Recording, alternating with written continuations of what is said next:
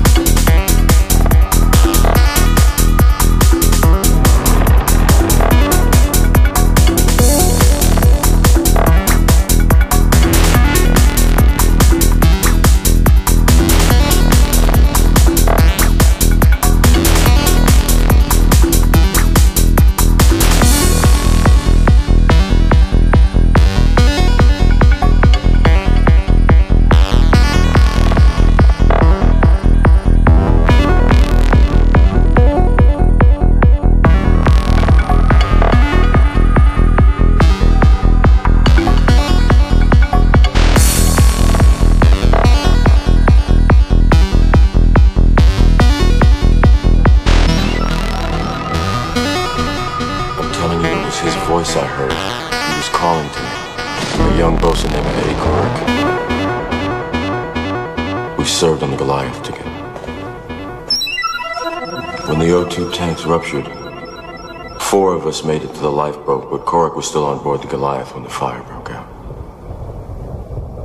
You ever seen fire in zero gravity?